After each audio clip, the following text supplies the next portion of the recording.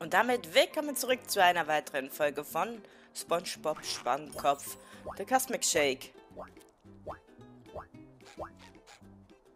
Okay, der hat extra dorthin gezeigt. Du hättest Warum? mich im Wilden Westen lassen sollen, Mignon. Ein Gefängnis ist immer noch besser als eine Welt ohne Geld. Sorry, Mr. Krabs.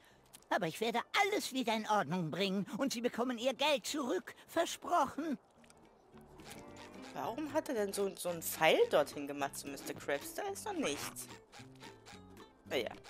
Vielleicht wollte er mich auch einf- einfach nur irritieren. So, wir sollen zu Cassandra. SpongeBob, ich brauche deine Hilfe. Sheldon ist zu stolz, um dich zu fragen. Aber dein Missgeschick hat den Abfalleimer umgestoßen und du musst ihn wieder aufstellen. Wir haben bereits ein akribisch durchdachtes Gerüst aufgestellt, aber Sheldon hat seine, ähm, zarte Natur nicht mit eingerechnet. Entschuldigung vielmals. Es gibt wichtigere Dinge als umgekippte Mülltonnen. Es ist keine Mülltonne, sondern ein Eimer. Und er ist Bikini Bottoms einziges Restaurant. Ich kann mir vorstellen, dass alle aus einem Abfalleimer essen wollen, aber das Schicksal des gesamten Universums steht gerade auf dem Spiel. Ach was? Das Universum kann warten, bis wir einem Freund in Not geholfen haben. Okay. Ja, wirklich mit Cassandra haben wir jetzt nicht gesprochen, ne? Also, ähm, ja. Macht da bitte keinen Haken dran. Wieso funktioniert das nicht? Meine Berechnungen sind fehlerfrei. Können wir helfen? Ich brauche eure Hilfe nicht. Aber wenn ihr diese ganze Unordnung wieder gut machen wollt, dürft ihr mich gerne unterstützen. Hier, nutzt diesen Hochgeschwindigkeitsbewegungsverstärker, den ich eigentlich dafür erfunden habe. Oh, ist das ein Blasensurfbrett? Ja, aber nur mit einem komplizierten Namen kassiert man die Lorbeeren. Ah, jetzt haben wir das freigeschaltet. Mit dem Blasensurfbrettgedöns, wo ich schon Panik geschoben habe. Jetzt. Ich hier hoch? Als ich wieder zu Hause war, habe ich aus Freude Dreck gegessen. Geb ich gern zu. War gar nicht schlecht. Ah, ah, alles klar. Gut, ähm... Okay, ich dachte, das wäre so ein Button zum für mich drücken und ich dachte mir, warum ist das dann so versteckelt?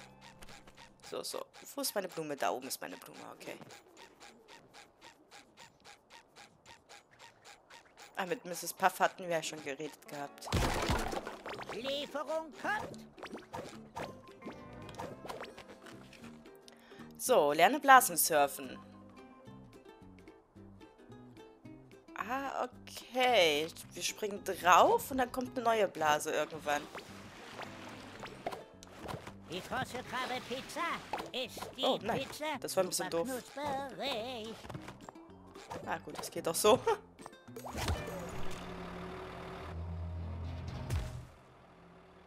Ich war noch nie hier drin, aber da die krosse Krabbe verschwunden ist, habe ich wohl keine andere Wahl.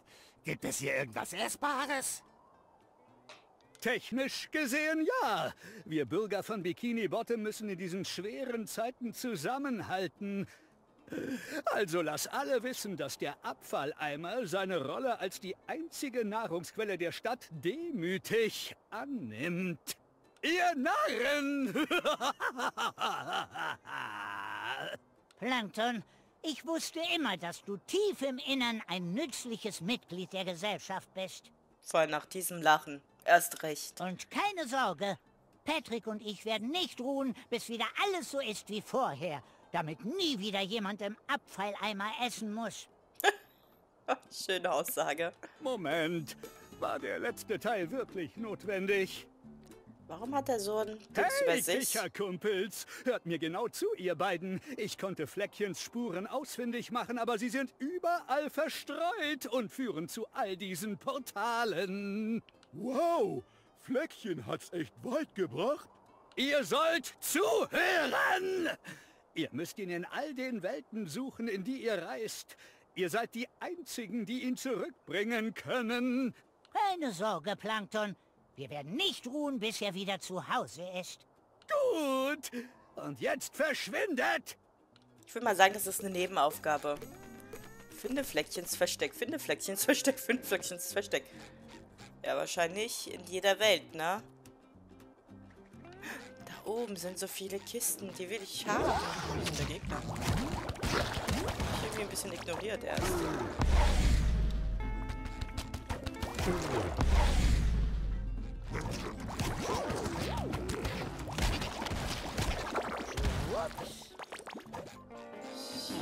Ich mag Bikini Bottom. Das ist schön. Ich mag Bikini Bottom auch. Ach nee, das war die Stelle genau, wo ich dann da runtergehüpft bin.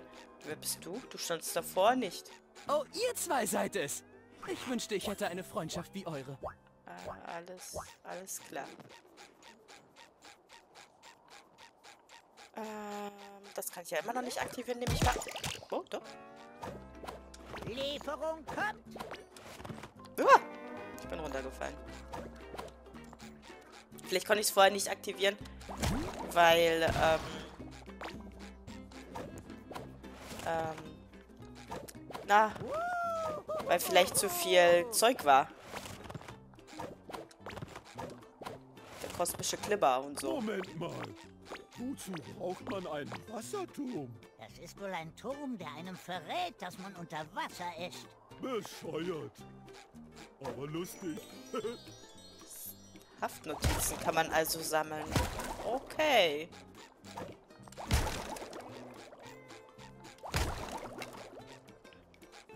Das war jetzt nur für die Haftnotiz, nehme ich an. Okay. Was heißt nur, ne? Ist ja schön zu erfahren, dass man Haftnotizen hier sammeln kann.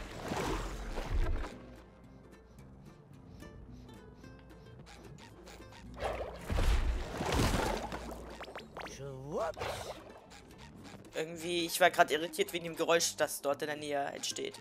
Nicht entstanden zu ist. fassen. So viel reines, pures Gelee, so viel rohe Energie. Für das nächste Kostüm. Es sollte dir vertraut vorkommen, aber lass dich vom Äußeren nicht beirren, wenn du durch das nächste Portal gehst.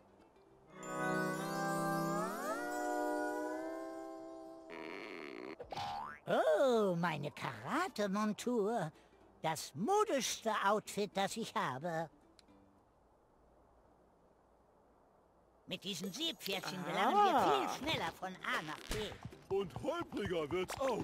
Diese Gelee-Dinger sehen wie etwas aus, das Thaddeus machen würde, oder? Ja, genau. Ich glaube, er nannte es... Äh, wie lautete das Wort? Kunst. Also, ich nenne sie Samantha.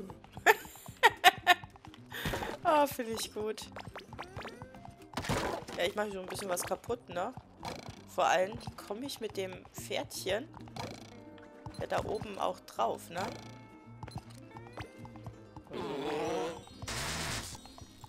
Also hier so.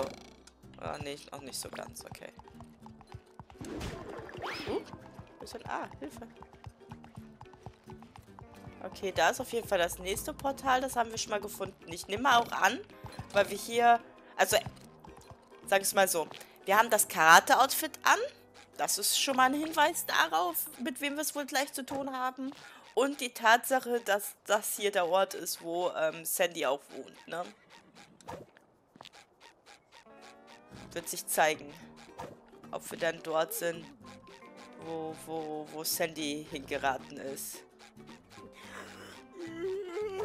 Jetzt schon für einen Moment Angst, dass ich mich vielleicht nicht hier frei bewegen darf.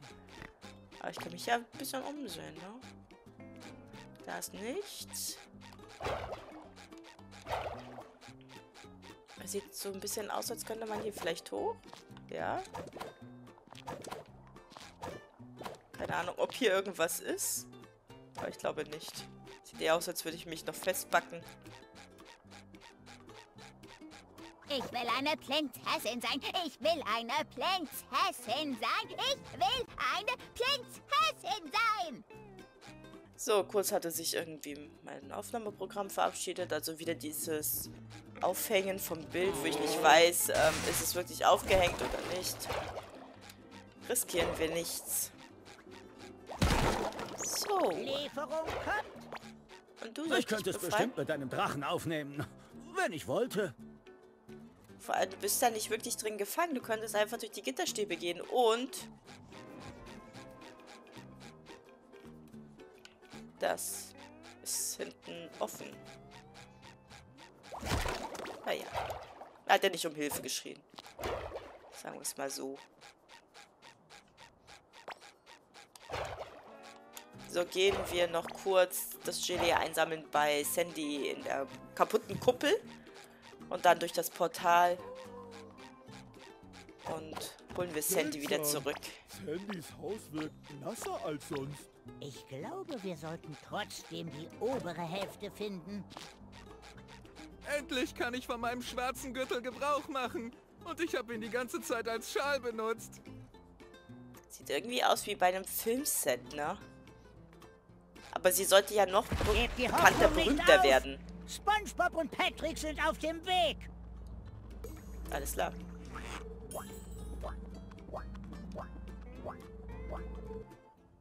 Dann reisen wir mal in die neue Welt. Bin gespannt, was da auf uns zukommen wird. Ah, jetzt verstehe ich, warum in Großraumlimos so viel Platz ist.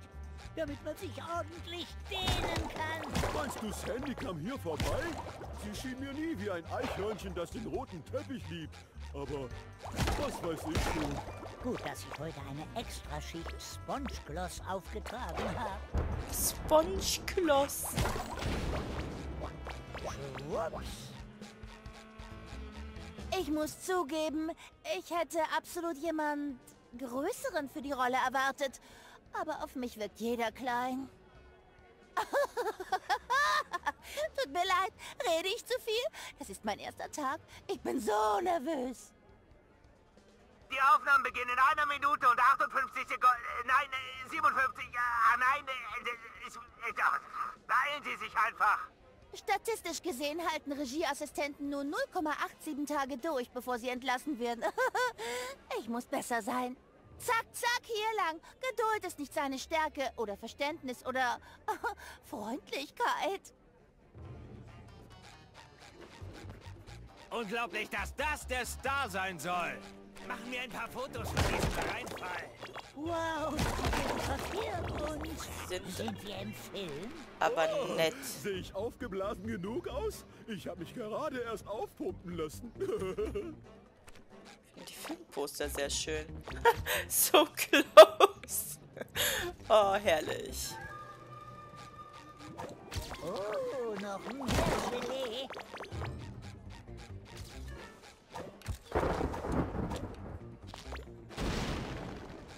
Mal das. Larry, Ja, Larry. ich dein Autogramm? Sorry. Larry selbst unterschreibt nichts. Aber das kann ich kaputt machen. Komme ich da oben? hin? Ist da irgendwie draufstehen müssen? Enter the Sponge. Dieser Bereich ist zugangsbeschränkt. Keine Fotobomben mehr erlaubt.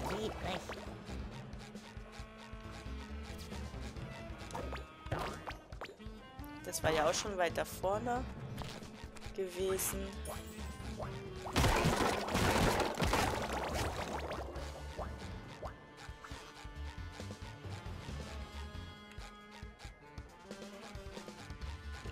Komischer Luftballon. Auch noch für mich gesperrt.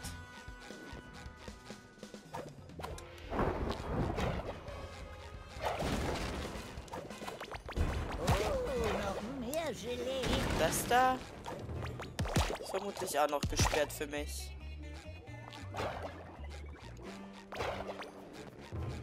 Ja, wie kommst denn du da auf einmal hin? Hey, ähm, Herr... Herr Schwab, was machst du denn noch hier? Bitte begib dich zum Ausgang, sonst werde ich gefeuert. Der Regisseur wartet auf dich. Nanu, wie bist du so schnell hierher gekommen? Sie muss sich vorgedrängelt haben, Patrick.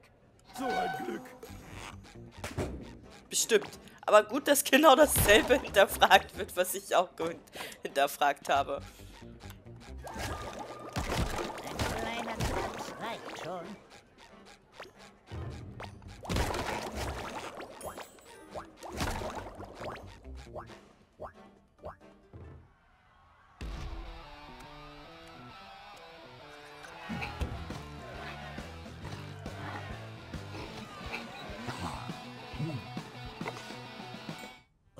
Junge, das ist ja ein großer, schwerer Geleebrocken. Solange er im Käfig bleibt, passiert dir nichts. Vor allem, der hat so schicke Hosenträger an, wo ich mir dachte, oh, die Muscheln sind ein bisschen so platziert, als wären es ähm, äh, so, dass man die Nippel abdecken möchte. Ja, worauf ich schon wieder gucke, ne? Oh, noch mehr Gelee.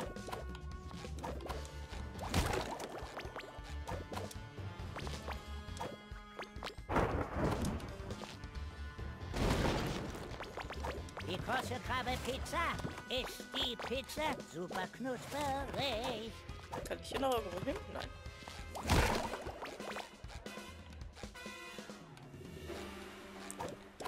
Ach ja. Das noch holen. Das noch. Ach komm, ja auch so drauf. Gut, dann kann ich mir das, die Kisten ja auch kaputt machen. Ist ja gut.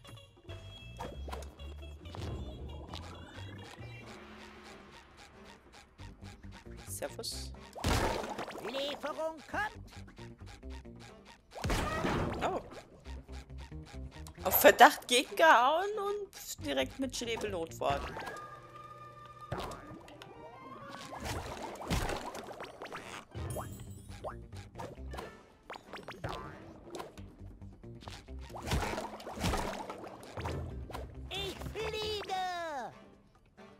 ist nochmal so einer. Also rein theoretisch käme ich auch wieder hoch. Ein kleiner Klaps reicht schon. Oh, guck mal, hier ist so eine Lampe. Ich dachte erst so, oh, eine Bushaltestelle. Aber ich glaube, wir werden die ganze Zeit nur Spongebob spielen. Weil schließlich sind die anderen ja woanders, ne? Die sind ja alle verstreut. Süß und klebrig. Mal sehen. Ich habe kein Problem damit, wenn wir nur Spongebob spielen. Freue mich aber auch, wenn wir wieder andere Charaktere spielen sollen.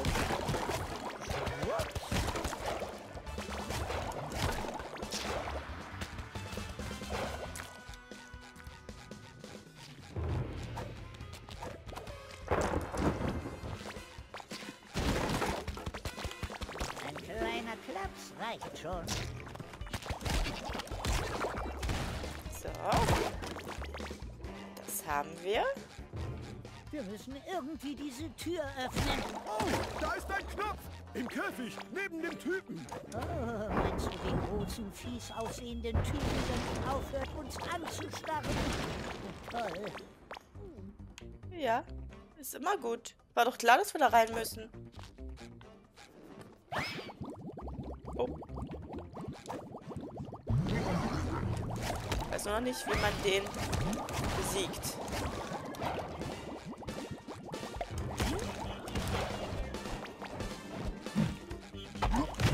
Ah, okay. Muss angreifen, herumwirbeln. Und wenn er dann... Also generell angreifen, anscheinend wirbelt er nicht nur herum.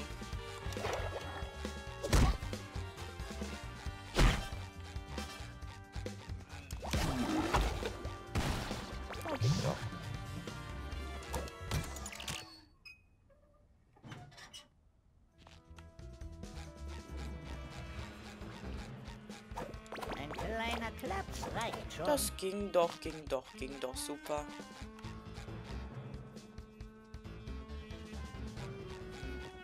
Moment, da, für einen Moment dachte ich, das wäre eine Person in dem Käfig in der Ecke stehend, so bibbernd vor Angst oder so.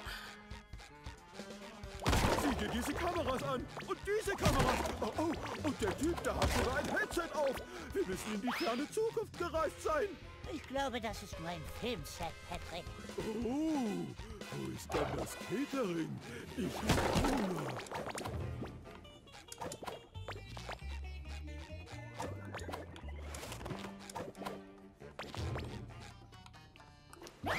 Okay, da hinten ist irgendein... Hier, Oh. Ach, das war Flecky. Spät, wie ich sehe. Jetzt auf die Plätze. Der Regisseur ist Thaddeus? Er hat eine Vision, SpongeBob. Das ist also Flecky. Lieferung kommt.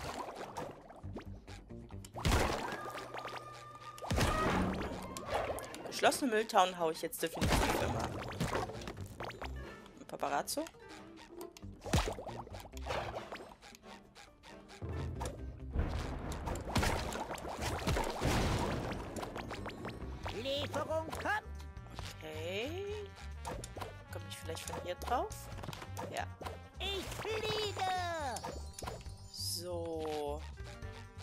Dann nur noch mal versuchen, zu Flecky zu kommen.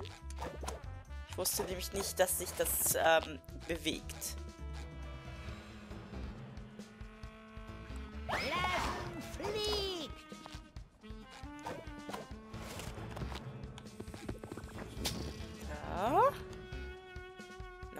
Stückchen. Da haben wir Flecky schon mal hier Dieser Film gefunden. wird ein echter Flop. Wieso sollte der Film ein Flop werden? Warum?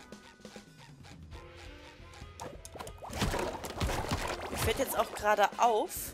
Also erstens haben wir hier alles gekloppt und zum anderen, die Zeit ist vorbei. Deswegen passt das ja ganz gut. Und dann machen wir den Schnitt und dann sehen wir uns in der nächsten Folge wieder, werden mit Thaddeus, dem Regis- Regisseur, sprechen. Ich kann das Wort ausspre aussprechen.